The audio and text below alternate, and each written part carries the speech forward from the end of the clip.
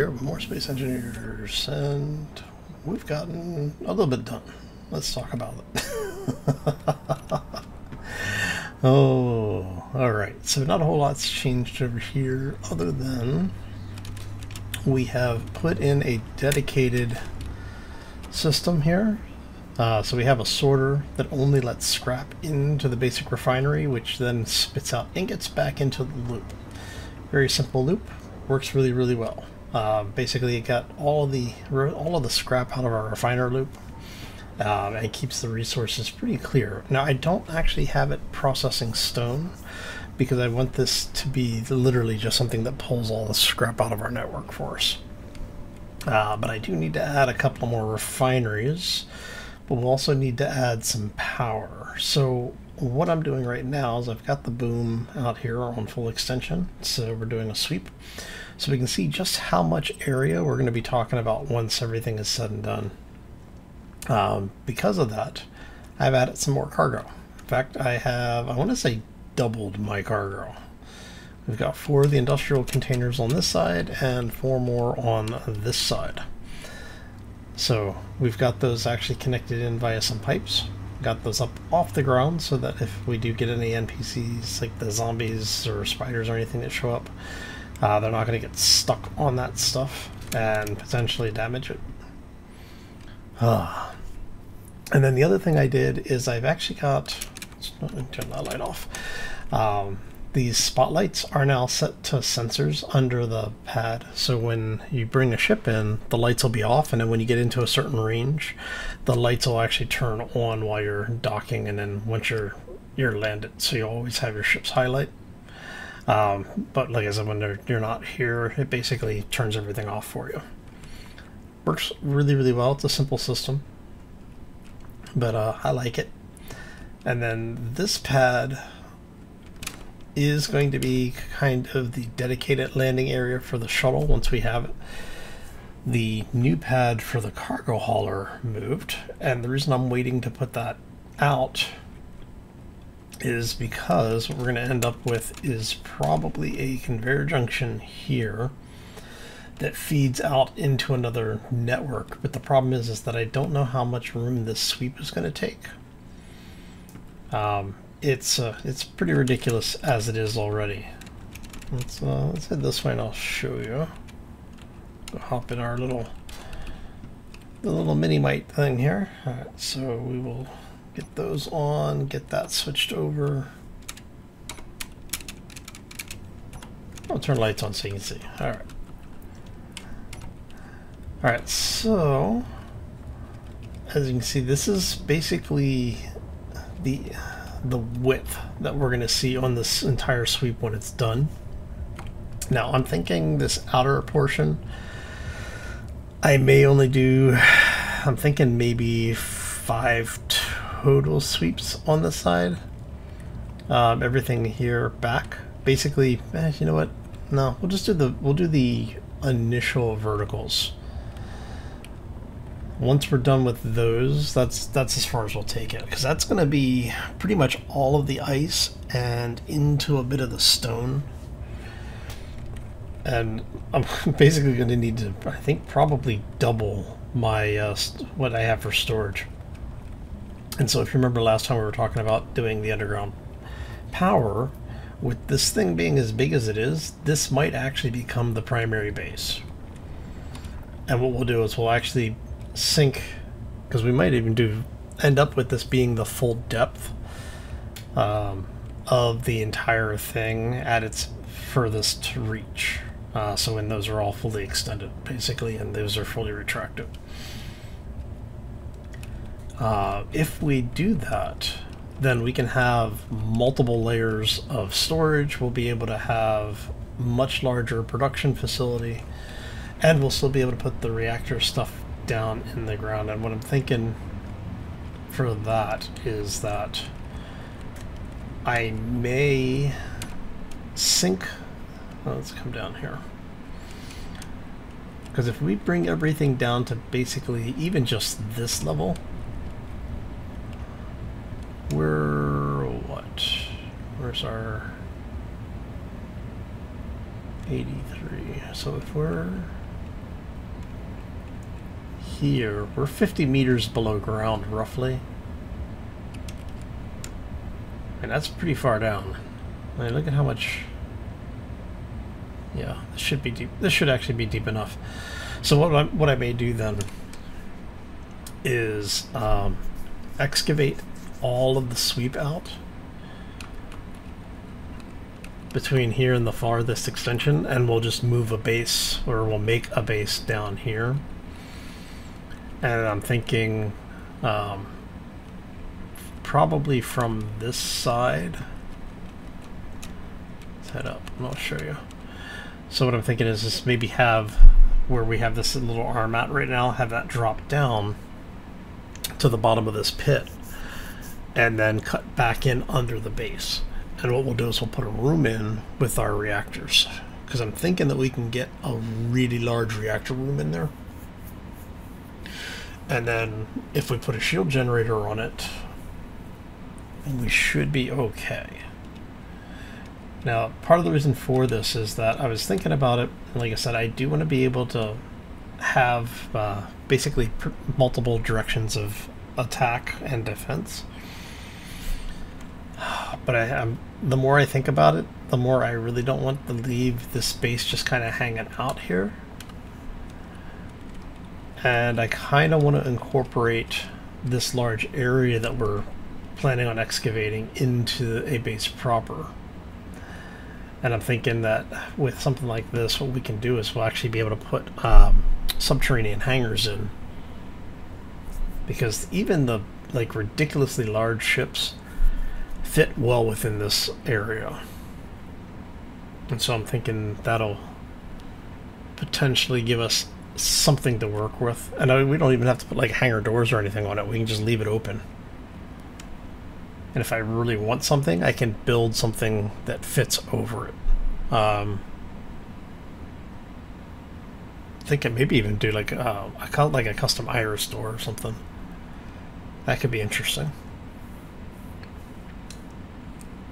Nothing too complex. Maybe like just say four hinges. And then just have basically corner panels that swing in and out.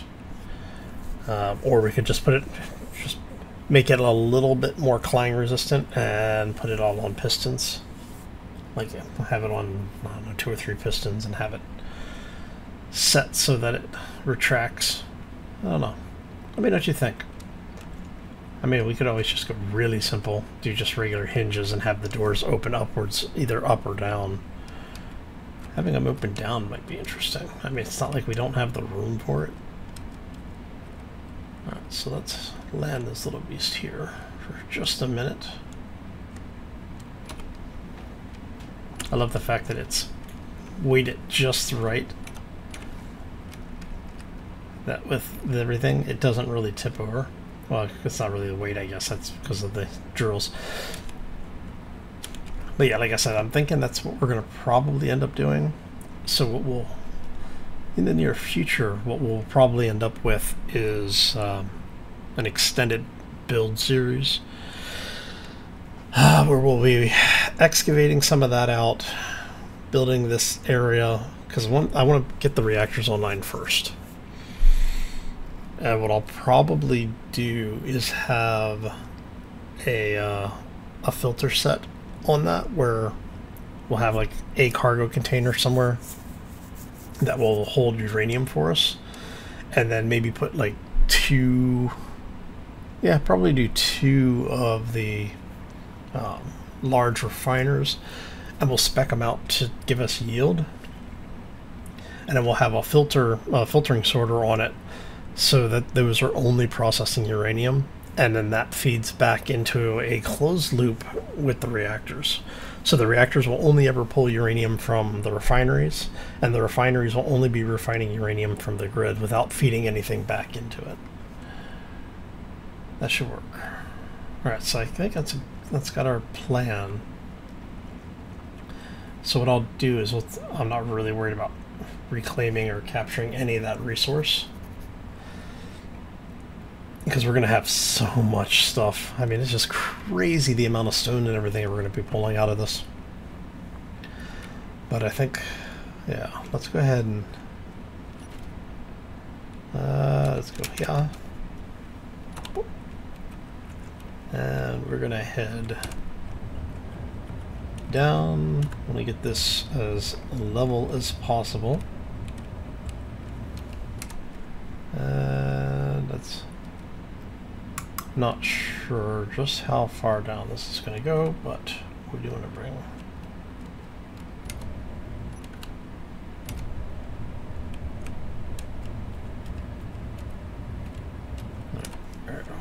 And I am not even going to worry about the zombies. Alright. So... Now, since all this is going to be underground, I'm not going to worry too much about what we got going on. Uh, you actually have three level. Alright. We probably can get away with a little bit. Yeah, it's pretty good. And so what we're gonna do is we're gonna try and figure out where our ground our ground level is. Yeah, we'll, we'll leave leave a little bit of that. Should end up about at this level.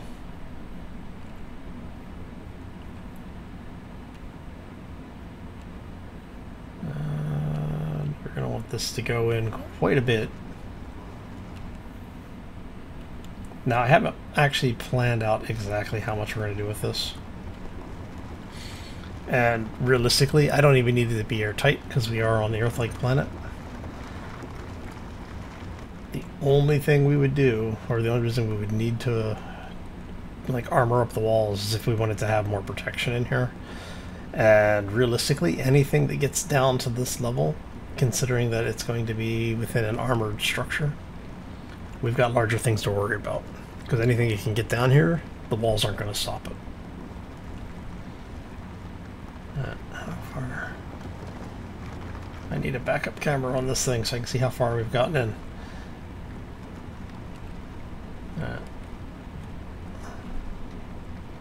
Uh, let's go Let's go three more updates.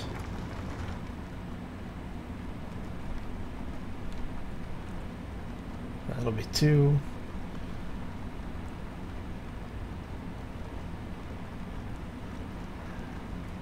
One, two, three.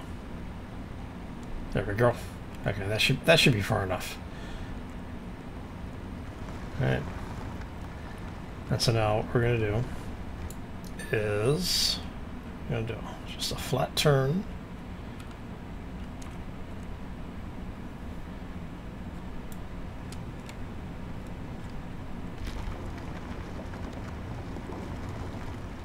There. And we're just going to excavate back a little bit. And again, this is really just to make it a little bit easier for us when we get in here. I'm just gonna see if that should work.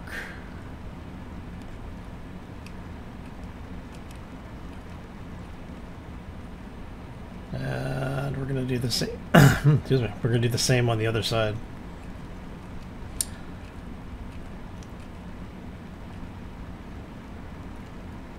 Right. So now we're going to swing around, level ourselves off again.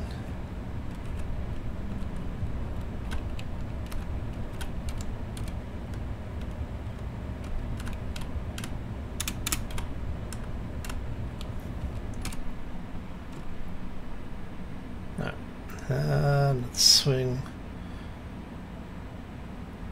this way good, yeah.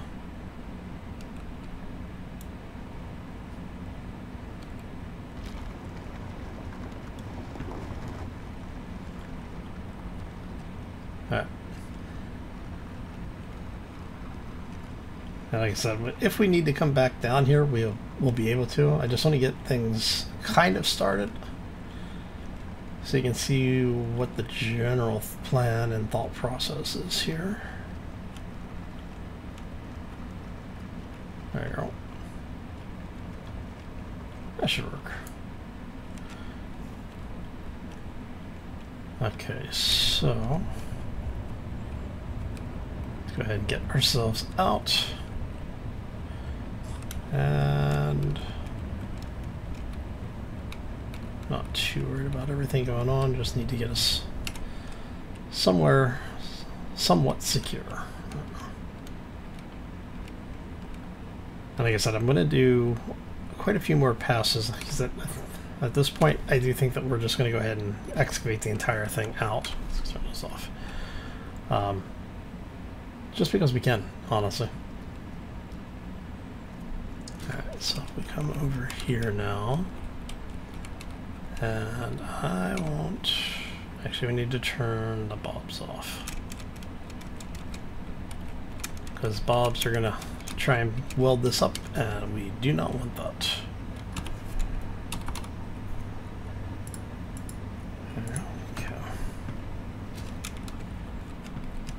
It doesn't matter if it's how many blocks the finished area is.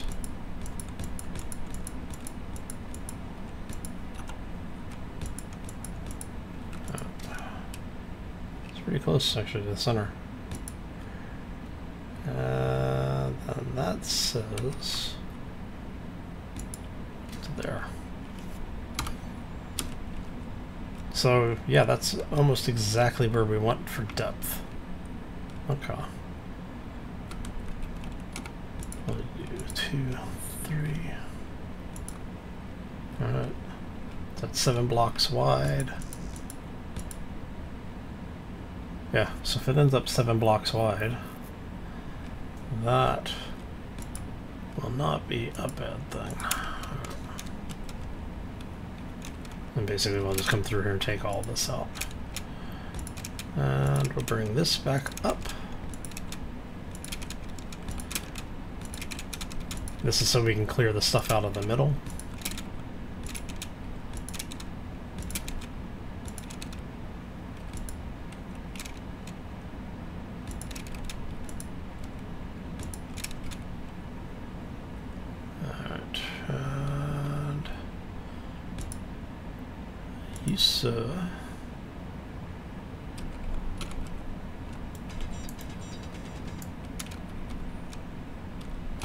should be okay if we do that and that. Alright, gets us connected in.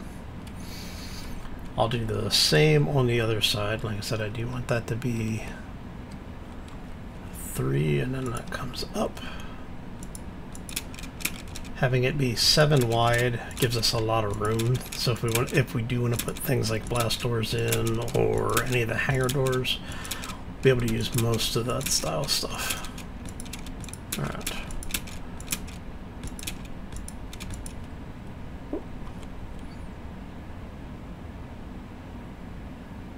Might have gone just a touch. There you go.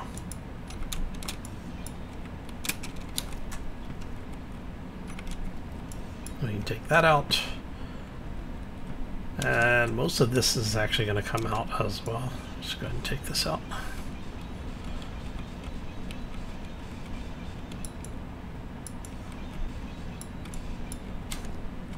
Ta-da! Alright.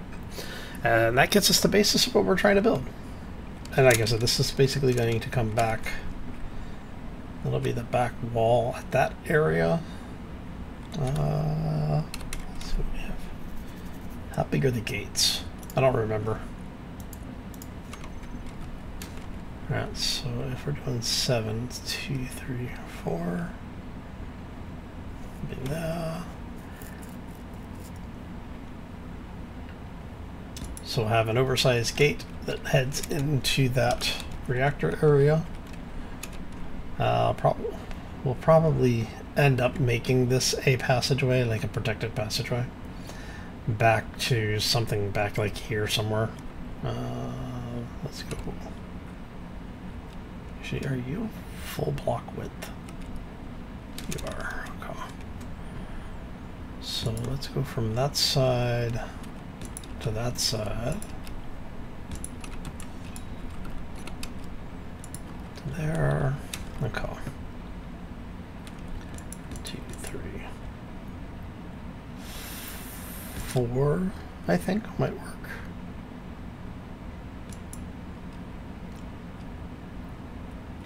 Uh, you are going to be the same. I want you on that level, so... Did I actually one, two, three, four, five. That's one block there. One block in from there. Okay.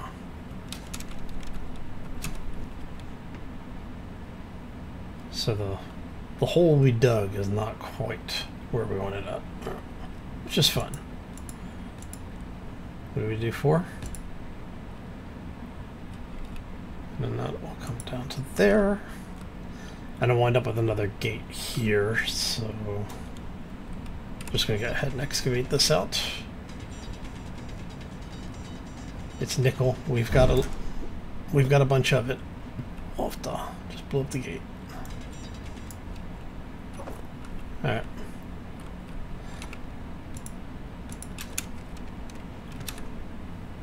And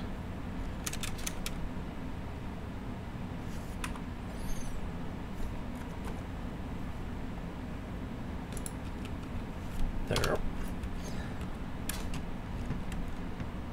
Alright, and then that's going to go one, two, three. Oh, I'm out of blocks. We're out of uh, plates. Alright, we'll go grab some more plates. So basically what we're going to do, bring this back. We'll have another gate behind it, and then the rest of this will be set up for the reactor space. And part of the reason why I wanted all of this here is because we're going to excavate under the ice. Basically, I'm going to probably cut a pilot hole in somewhere like around here or so until we can get up to this point. In fact, we're going to uh, let's set a GPS here. We're going to say uh, connection point. All right. And so what we'll do is from we can actually do this from down here now. We know roughly where it's at on which grid so we can we can literally just count this off. It's one block over so one two three four. So it's going to be directly above this area. And we just have to we'll just count back to however many blocks we need and then dig straight up and see if we can hit the connection um, and then we'll be able to pipe everything down in here. And we'll run that. I'll probably run off to the side and down behind the wall. Um, actually, we could. That could be interesting. We could pipe it down the wall. So, so once we have everything in, if we do, if we're doing a curved wall here, this middle piece would, would be removed, and we'd run the conveyor down that way. And maybe do it on both sides, just to mirror it. And then somewhere up in the stone, we would actually have them meet up in, into a single line. Ooh, I'm kind of liking where that's going. Okay, so let's take a look at our reactors. And I do think I'm going to use the um, industrial, the warfare hangars, warfare, nah, warfare reactors. So we have a connection on the bottom, in the middle, on the side in the middle, and top on the middle. I should say the back. So I'm thinking if we're running it at that height, maybe have it drop down one or have it come up one. Having it come up one might be interesting.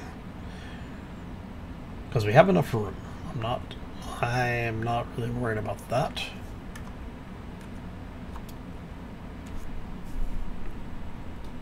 Because like I said, worst case, we can always just excavate more. So maybe having it come up one block. So you come through the double. No, I guess it would be.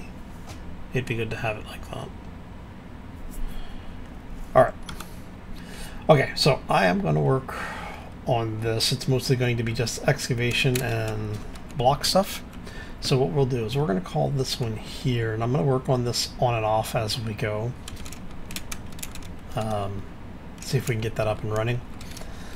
One of the things I still need to do is to swing up to the asteroid base, pick up a bunch of uh, uranium, bring that back. still have a lot to do, basically. Okay. Anyway, I'm going to get out of here. I'm going to thank y'all for stopping and Hopefully enjoyed it. If you did, you know the routine. I am going to get out of here. I hope you all have a fantastic day. Enjoy the rest of your week. And we'll see you back here next time for more Space Engineers. As always, folks, take care and be safe out there, everybody. Oh, still so much to do.